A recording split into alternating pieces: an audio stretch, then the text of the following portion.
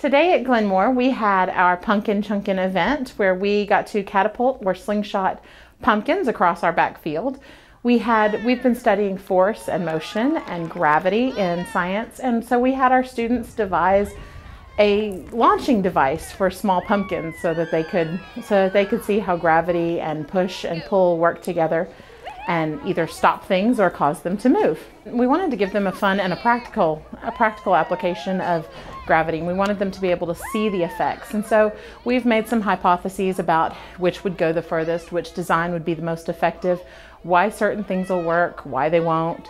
We had them draw out some designs. They're going to go back and journal about what they thought would work and didn't. They've also done several trials and each kid got to do it several times so they've gotten to see that there's some inconsistency in each trial.